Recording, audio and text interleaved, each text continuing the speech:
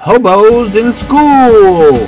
While I was homeless living under the bridge, uh, Manhattan Beach Boulevard and 405 overpass, I decided I didn't have anything else to do. So I decided to go to college. El Camino Community College, right there on Crenshaw Boulevard.